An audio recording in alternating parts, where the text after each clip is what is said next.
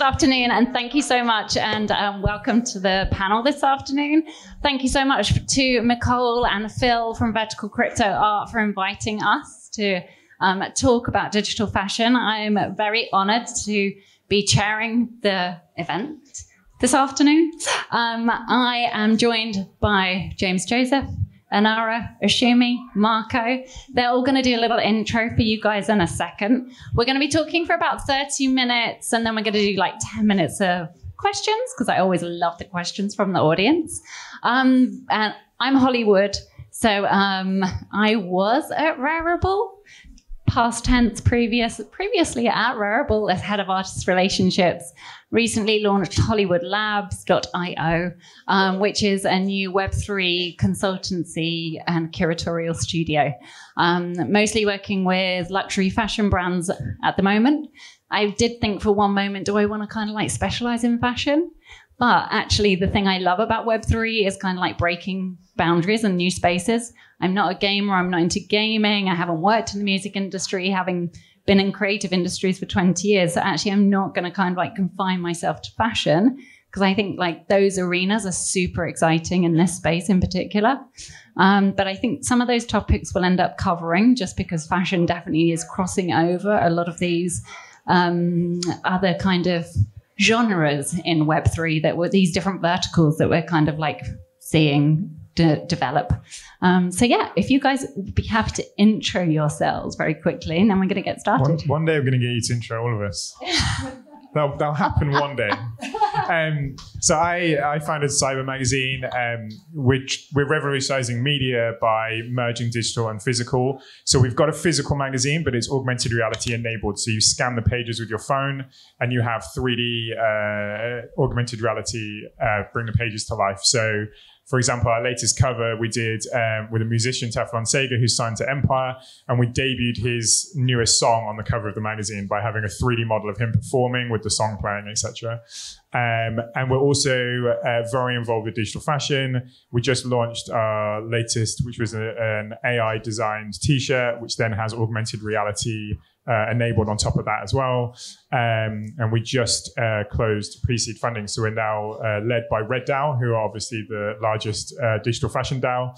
Um, so we'll be moving uh, our direction even more into digital fashion as we continue.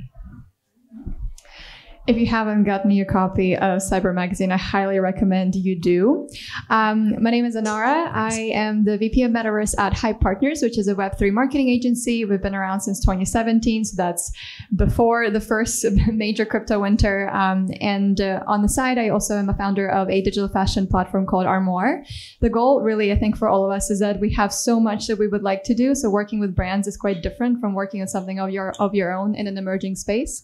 So we've got insights from some of the projects we've worked on, and then also some of the things that we truly believe in and want to see in the future. So this will be a very exciting conversation. Um, so I'm Ashumi. I'm the founder and CEO of Mad Global. Uh, we're a creative production uh, agency focused on innovation. We start. I started the company in 2009 and have focused primarily working with fashion, luxury, and art clients. We've been working in the Web3 space for the last three years and uh, initially got into the space also doing a lot more projects in the createch space with augmented reality vr 3d and now also advise across a lot of different web3 projects.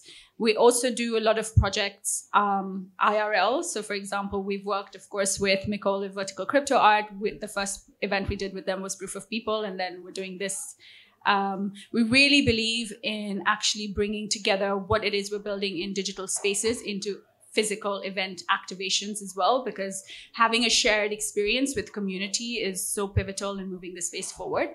I'm really excited to be here today with some of the OGs in the space. So it's always uh, nice and to see familiar faces in the audience. Thank you so much for being here with us.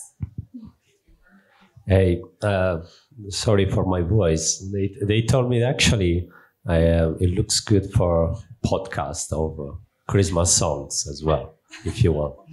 Um, yeah, so I'm uh, Marco the City of The Fabricant. The Fabricant uh, is on digital fashion since 2018, uh, a kind of pioneer on that field. Uh, was the first company to mint on Ethereum uh, digital fashion uh, NFT in 2019.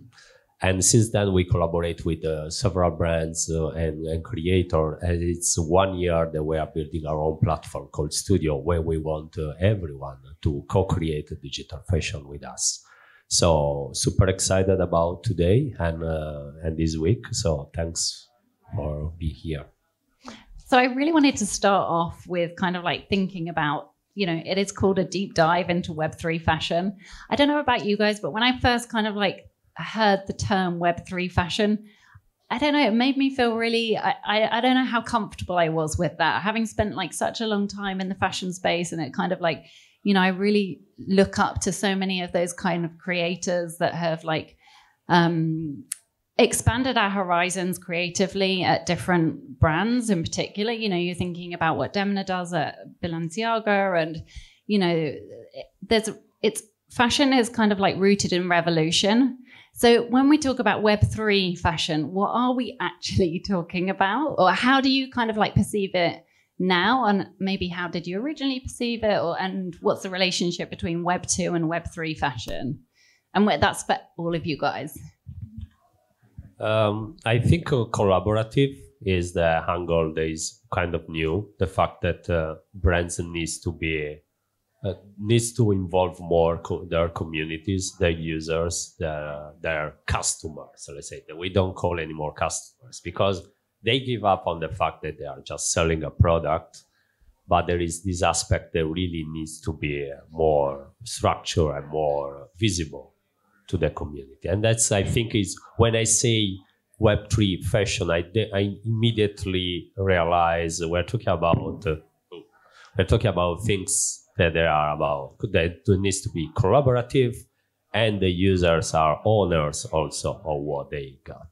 And that's a bit the big difference there I would say that there was already a phenomenon happening that needed a name. So Web3 is what we called it, but there was a whole generation of people that have played games and lived semi-virtual existences online that started to kind of decorate their virtual selves and their virtual spaces. So the designers that kind of call themselves digital fashion designers now, a lot of them have never studied fashion. They've never gone to college, but they make beautiful things and they have a knowledge of pattern making and they understand, you know, how to think outside the box. And there's this weird moment where brands are actually looking towards this new segment of creators and thinking, okay, what should we be doing then? Now that this is developing, now that these tools are available, how does our brand fit into this narrative and vice versa? So it's, it has this name that we nicknamed Web3 fashion, but I think it's more of like a an emergence or maybe transformation of the gaming sector and as it seeps into other sectors and other industries.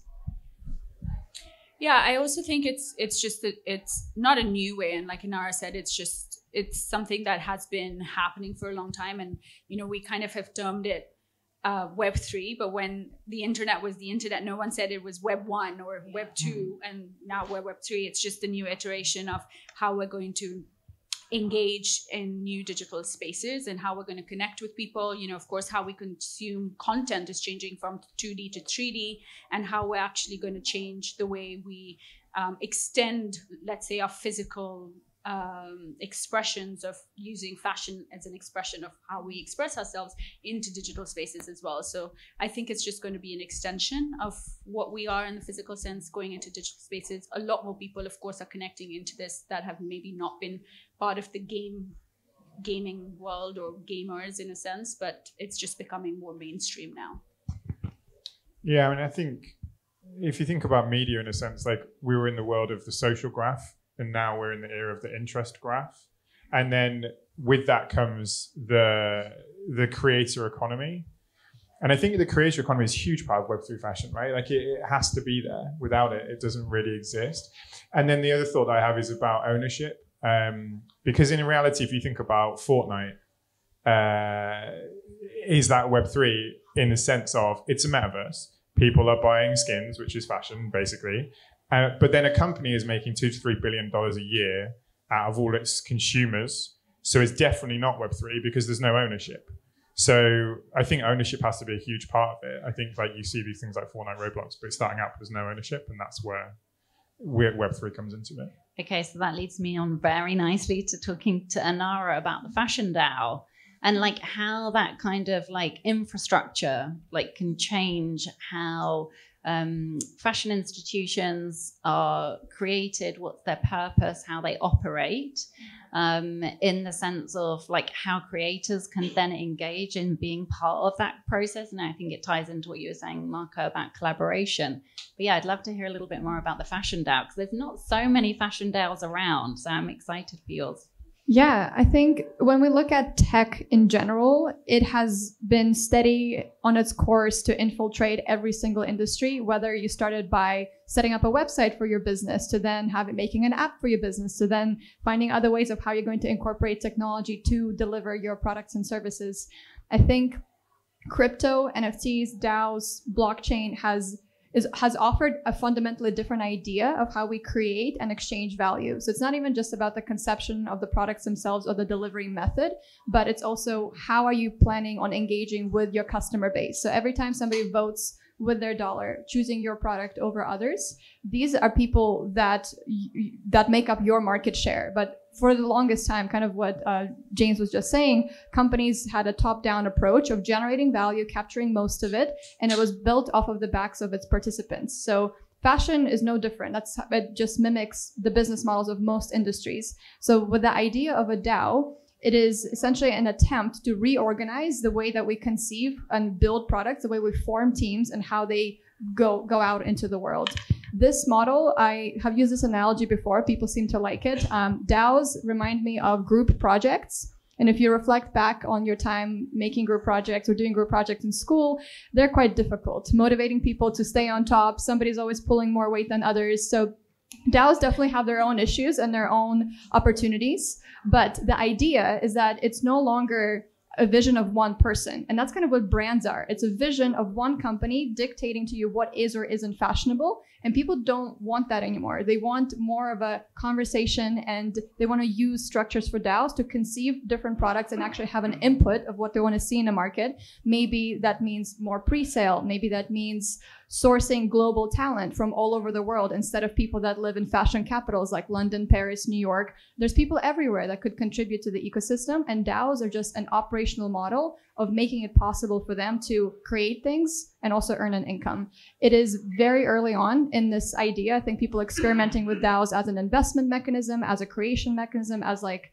a tool to even like get people to agree on certain things and vote. So big experiment happening now. If you're interested in it, start participating, observing, contributing. But I definitely have more questions than answers at this point. And Marco, you just launched the whole land at the Fabricant. Yeah. We need a little alpha and lowdown on that for us. It's all secret. But, this this but, can be like your Twitter thread but, in real life. Yeah, it's all secret, but okay. Uh, yeah, the world land is our new experience It's gonna unfold in different, let's say, chapters and episodes. Uh, we're gonna launch, uh, you know, beginning of next year with the first phase. We're gonna have uh, probably whitelist. I hate the whitelist in general, but we need to because it's still like I think it's important that we keep uh, close technology. one problem of uh, all this blockchain and crypto NFT is uh, technology is still like a bless, but also a, a issue. So, and making things just open to everyone is is challenging. It's challenging for security to keep our community safe. So we are keeping like uh, creating whitelist for different communities. They are opening uh, and they are we they are close to us.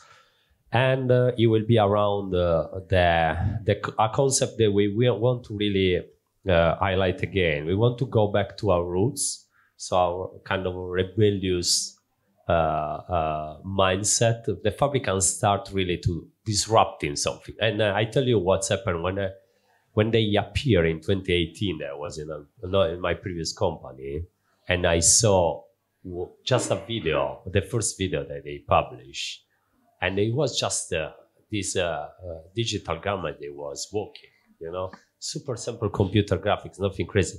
But I say, what the fuck? because because it was so disrupting that just the the decision to be fully digital on fashion, they, it's not the, it's not the same as uh, publishing wearables for a game. It was really our collection is fashion. It's not game, it's fashion. And we want to be fully digital. We don't care about the fashion industry, the physical, we want to make something new. I think uh, Warland is going back to that kind of, uh, at least as attempt to go back to this kind of rebellion against, let's say, the what's happening now that there are many amazing projects, but I think we are kind of starting to conform a, a lot because we want to embrace everyone. We want to have all the brands on board. And to do that, you, we need to compromise. We need to go back, okay, we want to everyone happy in some way, all the community, everyone. So what you're gonna see, eh, I cannot reveal much. It's uh, going back to our origin to make something that has more punk attitude, more underground, and also we invite people to be part of this and not just uh, ourselves. It's not gonna be just a self, you know, uh, you say self reference. I think Uh, that's one of the just- things that I've been loving in the space is that kind of like punk attitude. There is like, you know, a real kind of like underground vibe about it. And I don't know about anybody else that has been fortunate to kind of like go to events in, you know, so many other incredible cities. But like London definitely has a thing going on. It's insane here at the moment. I think that's largely to do with kind of like, you know, the community that has kind of like been working together here. But we also have our roots in kind of like, this incredible kind of like creative heritage of like ID being born here, Dazed being born here, and I'm I'm really excited actually to see those guys kind of like coming into the space as well. Um, but one of the events I was thinking of was the last event that you worked on, or not the last event that you worked on, but that Vertical Crypto Art did here, um, Proof of People um, at Fabric Nightclub. Um, Ashumi, you've been doing like crazy amounts of things over the last 12 months. What are, what are some of the highlights? Uh, yeah, so we have actually been doing over the last 12 months, uh, actually even more so over the last six months, um, a lot of events. Um, and I think that's really just cemented for us, uh, like I mentioned before, how important it is for, for communities to come together to have this shared experience. Because what we have, you know, when we're sort of, we do a lot of um, consulting with brands as well. But of course, we have a lot of exposure in the space because we run a creative production agency and we still do a lot of traditional uh, campaign work for a lot of the big brands and a lot of the creative directors and photographers. But I think what has always been kind of important is understanding that the jargon and technology that surrounds the space is still very confusing to a lot of people and when you do do when we do have events such as the proof of people event or also another event that we did called picnic during london fashion week which was specifically focused on digital fashion. Peop the, the everything else in, on the technology side or the terminology side falls to the back end of and and the experience of and the mechanics of actually walking people through how to immerse themselves in that space is really at the forefront. And that's always just been so exciting to actually been a part of that and watch that. Um, one of the last projects that came out that uh, I was a part on that I that I was a big part of and I uh, curated over six months was with a marketplace called Bright Hall and they're uh, Vogue Singapore's um, marketplaces uh, and we, I worked with four very big name fashion photographers including Ellen von Unwerth, Nick Knight, uh, Chen Man and Liz Collins to bring uh, work to curate and bring some of their photographs as NFTs into uh, the Club Vogue Singapore space that launched uh, on Spatial. And this was just it was an amazing project, and also you know working with traditional analog artists or, or, or um, creatives and bringing them into the space and also helping them leverage what the technology means and how much more of an audience they can reach is it was really just a great uh, project to be a part of. And of course now there's a lot of other uh, photographers that kind of were part of that curation but didn't launch for this project that we're working on now.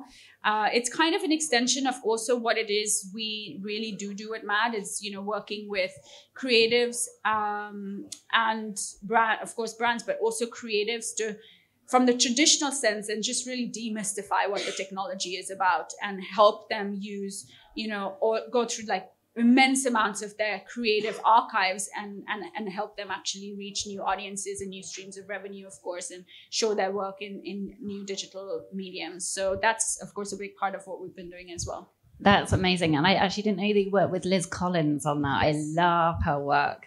Um, and really interesting to see what Nick Knight's been working on as well. Um, I was thinking like about fashion photography in particular because um, one of the criticisms of the space very early on was that we needed more curation. Um, and I think when you're looking at kind of like these historic archives, like you're saying, Ashumi, where you know essentially the back catalogue is huge. It's kind of like not all of it is kind of going to be right for this space or be interesting. So how do you kind of like you know draw from that as an influence and use it as inspiration, but do something to take you forward as a creator and an artist, not just kind of like mint out your back catalog or do that in a kind of a gamified way?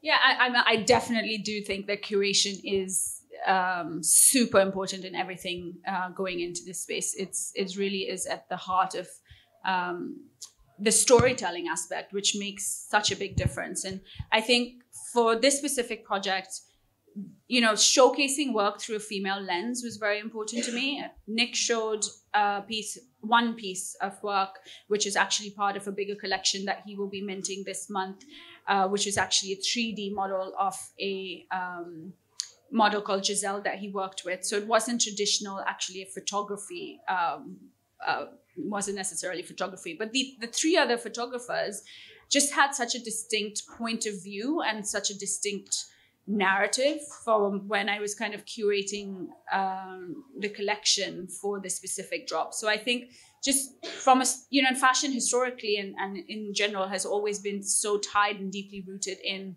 the storytelling aspect as well and that's really also from a brand perspective or from an artist perspective so important in sharing the entire narrative when you're looking into the curatorial aspect of it. So I would expect that we are definitely full of a room full of people who have either worked in the fashion industry or are very connected to the space already. Um, so you'll all be kind of very aware of all the different kind of like creative processes, and there's like so many. But one of them, in terms of like publishing that you're working on, James, and like revolutionizing. I don't know. I see that as like one of the most exciting spaces to play it, media. Yeah, just not not like the creation of like the physical garment necessarily or the um, digital asset. Like in terms of AR, VR, I don't know. I feel like media in this space is super like game changing. Yeah, I mean because it is how you communicate. It's going to be the like how you tell a story in a totally new way now. I think the biggest thing for that is that most media organizations, 95% are archaic. So there's so much room for disruption. This is why we like James on these panels because he doesn't like hold hold punches.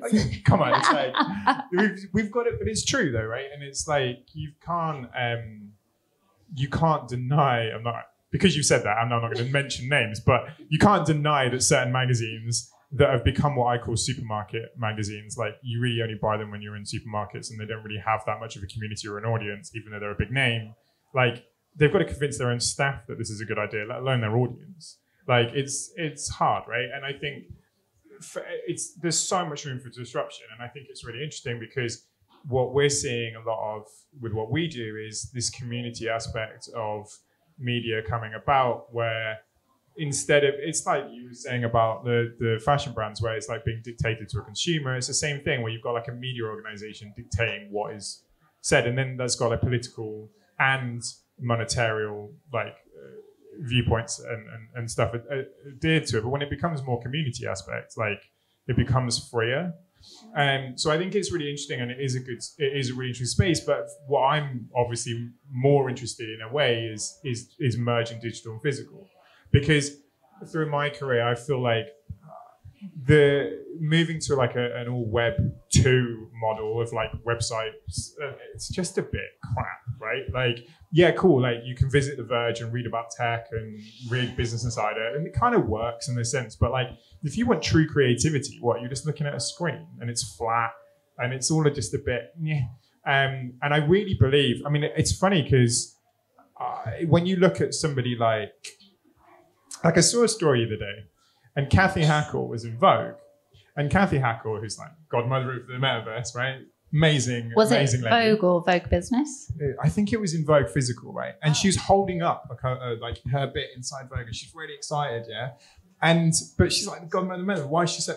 It's because print holds such a big part of people's heart, and it still does. And people like we find because we're print, right? Like we find that people get extremely excited. Like when we worked with Teflon Sega, he was so excited because it'd be like his first cover, right, etc. Um, so to me, you've got that tangibility and that excitement and that nostalgic, but with the future of digital. So incorporating AR. And I, I still feel like my big mantra is that I want to enhance reality and not replace it. And like VR and metaverse, etc., you, you're kind of replacing reality a, a lot. Here, I personally think the metaverse will eventually just be AR. Like it is just digital enhancement on our reality. Um, and that's why I think that media really needs to take note. I mean, there's so much like media. I mean, I'm just talking about like um media organizations, but when we talk about advertising, we talk about billboards, we talk about. I mean, like maybe I'm going to give it away a bit, but like once with the new issue, we're going to do a, a billboard campaign. It will all be AR. So then you can just like hold your phone to a billboard and it'll come to life and it'll be like digital in the street. And we already did it. We did it at, um, well, it was, we are, um, At W1 Curate? yeah, W1 Curates and, and Flannels, where that you know they had the whole Flannels building digitized, and we just thought, well, let's just do that AR, right? We've got we can do that. So we had a, everyone had their like uh, artwork on the side of the building, digitized screen on Oxford Street, and we pulled a 30 foot version of our cover. We have uh, uh, issue eight. We had Isabelle Boemeke, a nuclear energy influencer. Um, on the cover, and we just we ported that into a 30 foot version of the side of the building. Like it's so much there's so much to do. There's so much, and I think that obviously the likes of Condé Nast and stuff are spinning up their own thing. I think what Vogue Singapore is doing is very good. I will actually uh, give them a lot of credit. I think what they're doing is great. But like, I don't think there's uh, there's not much movement in the needle. So uh, there's there's a hell of a lot of disruption to have for sure. I was going to say I would just work with Harper's Bazaar in the UK for Frieze. They always do this amazing art issue every October, and they only feature female artists. And so I thought, like way back about six months ago, I was like, oh, that you know, they really need to feature a Web three female artist. So I sent them a whole load, and of course it was Krista Kim that they kind of chose. Um, and it was super exciting, and Krista and her team are really excited to be working on the um, digital cover. Um, I was pushing for an NFT, like the first Harper's NFT, but they weren't quite ready for it. And I, you know, I'm not in the business of moving anybody into this space sooner than they kind of feel comfortable. It's like, otherwise, I think we're all sending them the wrong message, like that this is a, a rush or a hurry. It's like it's not going anywhere. You can, we'll be here in a year's time when you're ready. You might be a bit late, but I mean, I did. To be honest with you, I actually really like that cover. I, I mean, obviously we'd have done very differently. We'd have done a lot more augmented reality with it, but but just the fact that it's like the gradient as a cover, it's very cool. I I think is it still it at Unit London that piece of work that Krista's. Ah, if you've totally got to go and see it. I had like a religious experience just watching that for like ten minutes. It's amazing. It's really sublime. Um, so yeah, you can see it in Abigail's exhibition in our code at Unit around the corner in Mayfair. Um, we are kind of at time. I think we're going to open to questions. Um, and if you don't have questions, we're going to carry on chatting. So don't feel under pressure. But if you guys want to join the conversation, it, does anybody have a question for any of our panel at all? Yay. Hi everyone, Felix from Goodday. Um, I'm particularly interested in what you think about the transparency that blockchain gives when it comes to fashion and the value of, let's say, NFTs as digital fashion. So the way I see it is Prada, Gucci, Balenciaga, whoever it is, the first time you can pinpoint how the market views them as a brand. Because obviously as soon as it becomes transparent and what prices are shown or how are holding specific item of clothing, they're directly attributed. So I'm just wondering in terms of that view of them previously dictating fashion to us, now we have the ability to dictate what we like to them, whether you see any of the traditional houses dying as a result of basically them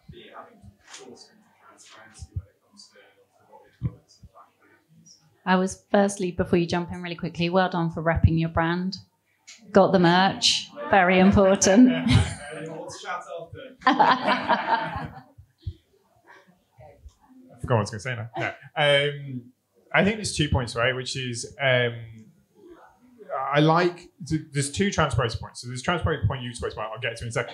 The other one is ownership between us, which I think is really interesting. Um, I oh, I was going to say I I learned about the McQueen were trying to do something. I, I don't think they've gone through with it, but they were trying to. What they were going to do is NFC tag all their garments, right? And then the idea would be that if you bought a McQueen jacket and then I bought it off you, like in resale market, and then Madonna bought it off me, and then you bought it off Madonna. That jacket would be worth more than the jacket that like X person, Y person, because Madonna owned it, right? And it's such an interesting like transparency thing because you know who owned it and like how long they owned it for, and it's quite an interesting thing about resale and valuing that and in a thing. So that I find that interesting. Your question about big brands dying, yes, like hundreds will die, and I, I genuinely believe that you, we will see a fundamental shift in who's at the top. Um, and I think what's exciting is that I hope Fabricant will be one of them. It'll be like Balenciaga, Fabricant, Cyber, um, Gucci, whatever, right? Like, I, I hope like that's what will happen, and you'll see a lot more of this shift. I think fashion brands are scared because of what you've just said. Suddenly, they can't say like we are worth this. This is what we are. This is our price point. Like uh, uh Balmain is a good example, right? Their price point is superiorly high, not necessarily because of like their quality is extremely high. I'm not saying it's not, but compared to somebody else on the, you know, their, their price point is higher because of that's what we've decided. And I think it's really interesting that the creator economy now now can decide the price point. So yes, I think that lots of brands will die, and I think that I'm not going to mention them, but there's definitely been two or three that I can think of straight off the top of my head of huge brands, luxury brands that you've kind of mentioned or whatever, who have failed so far, and um, and it's just the kind of navigation of how that will work in the future. I'm hoping that we'll just see more of a level, level playing field, uh, and you'll get the independent designers will be able to like compete with the big houses at the same time. The same way there is a debt clock in New York that kind of like shows you all of the numbers of the debt we're racking up. There's going to be an augmented reality graveyard of all the brands that cyber has said did not make it into the Web3 transformation. I'm not the voice of the whole decentralized world. And another one bites that. the dust. Maybe we should do that. That'd be fun. Hey, it's ideas. It sounds like an extension of a like a Deadfellaz, right? Yeah. I'm carrying on from that question for Enara or someone with an agency background. I'm guessing clients come to you because they feel quite brave and quite bold and they're like, fuck yeah, Web3, let's go. And how much of that actually translates into activation that you're seeing or once you sort of reveal the world, they go, oh, not yet. Brands are incredibly interesting. Um, brands are incredibly interesting because they are not the originators of this movement. Like they did not come up with daos. They don't didn't want nfts around. Like it's happening to them. So they have to be there in a defensive responding mode versus innovative let's come up with this stuff. So on the inside there's i'm not going to say it's panic but it's like hey this is happening. We shouldn't be ignoring it but the machine, the way it's built, is not designed to easily accept this system. It's not like they're saying, oh, transparency, sure. Let's just go from a moment of designing everything behind closed doors to having a massive fashion show of this massive reveal moment, and let's invite our community to co design. But that's just not natural for them. So they're trying to figure out how do they walk that tightrope and figure out how to not betray the Web3 values while also mm, staying themselves. And I would love to meet these super eager clients you're talking about because I think a lot of them have heard, you know, from someone somewhere that they should be doing this. And a lot of them are in shopping around mode. They're just like, tell me what's out there. I'm going to consider if I can do it. Then there's this beautiful thing that happens. Somebody on the inside of the company becomes a champion and they're just like going around department to department. We should do this. We should do this. That can take months on end, um, no matter how enthusiastic they are. Once somebody somewhere bought that, like has that buy-in, that's when we become relevant because we take them through the story, but you can't push someone through the door that they don't want to walk through. There's also plenty of examples of things going really, really wrong. So because people have a brand that they've held up and maintained and created for so long, they don't want to see it fall flat to the face because we know Web3 cancels super fast. Um, it's a difficult thing. So a lot of us also have our own projects. Like I have my own project because I need that outlet to be able to actually experiment with stuff that brands are simply not ready for. What they're ready for is vanilla, safe solutions. Some of them might have the boldness of Nike and just say, we're acquiring a company that's already working. Brilliant. They don't really have to go through the process themselves. Um, but if you do decide to work with brands, I think you'll have something to say about that as well. Is that a lot of digital fashion houses don't want to work with them and that they're doing their own thing. Um, so we'll see how that shakes out. But Fabricant made a pretty No, clear I, stance. I that. actually have two things to say. The first one is funny. Is an episode a pizza restaurant chain that once contacted us to because they want to make a full collection for their riders. So to deliver pizza, you know, but they want digital fashion for that. So it was a quite interesting episode. Now the second one, yes. No, we are open to all brands. That, that the main thing is that how much they are open. So how much they are open really to to change, to change their mindset uh, against their customers. Again, it's not it's not about even uh, what they do specifically, but really the big, big first barrier is that one. I can tell you also that the idea of uh, revenue split, the idea of sharing with uh, with many people. I tell you, we we are we are in conversation with one of the biggest celebrities in the world, and they said we were uh, discussing about the revenue split for for making for working together, and they said zero chance they were gonna have a 50-50. They said zero chance. They really, really like. Uh, you know who we are, why we should even consider. It's kind of this, uh, and this is the the things that we want to see changes. It's not uh, well, we are open to everyone. We really like uh, our message. Apart the pizza restaurants is maybe it's a bit it's a bit on the edge of what is possible, but there are other ones who really we're we're really here to hear. For anybody who's read um, Snow Crash, the pizza restaurant digital fashion idea is not so bad. Just saying. Just saying. Oh, hey. Hi, um, I have a question to Marco. Um, when you're designing, you know, and flow, these are heavy files, right? There, there, there's, you know, a lot of new topology, breaking things that used to happen in the pipeline. How are you getting people on board with something that is so tedious and hard? You write papers, you have a lot of tutorials for this. I know you guys are trying to democratize this, but I find there's a lot of struggle with that in order to create. Yeah, thanks for because it's exactly one of the two things that we are more focused. One is this one, the other uh, uh, onboarding people, so the access to blockchain. But for this, we are really in build mode, uh, working on. Uh, let's say, I mean, everyone can promise automation, full automation. We are not doing that. We are semi-automate the process in a way that literally everyone can create a fashion from starting from clothes but then all the steps that you mentioned and more they are gonna be optimized and automatically done that's uh, that's what we are working on in secret me my cave and, and my and my team I know Marco's the guy, but I just want to add something to that, which is, um, did you see? Have you seen what RTFKTs have done with the 3D files? yes No. and that's Yeah, cool.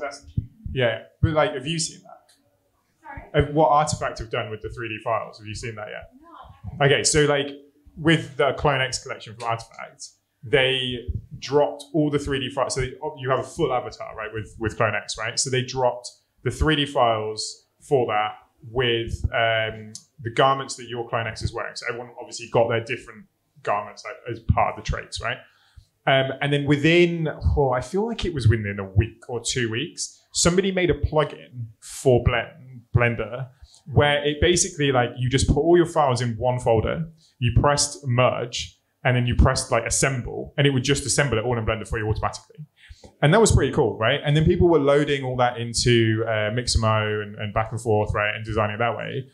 But then within three weeks, the guy upgraded his plugin, and now he's got lighting, positions, poses, like all the different stuff, and you just press buttons. Like so, he's building, and this is kind of what I'm talking about the creator economy, right? Which is that RTFKT just released the files, and then someone who's smart enough has made this plugin, which then enables the 10,000 people that own clones who haven't got a clue how to use Blender or or Clo or Marvelous Designer to start playing around with it.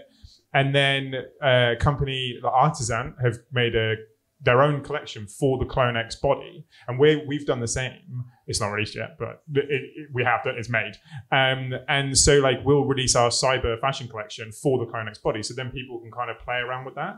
And I feel like it's going to go that way, where yes, you'll need a bit of knowledge, but I don't think you'll always It's- need to do the donut tutorial. You just need to like have a little bit of I don't know, right? That's our moment where we where we start uh, fighting on, on that conversation.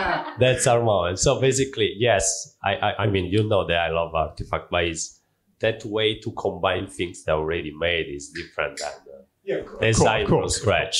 of course. So it, it's kind of it's a it, technically it's a way more simple pro- pro- process and problem still difficult so really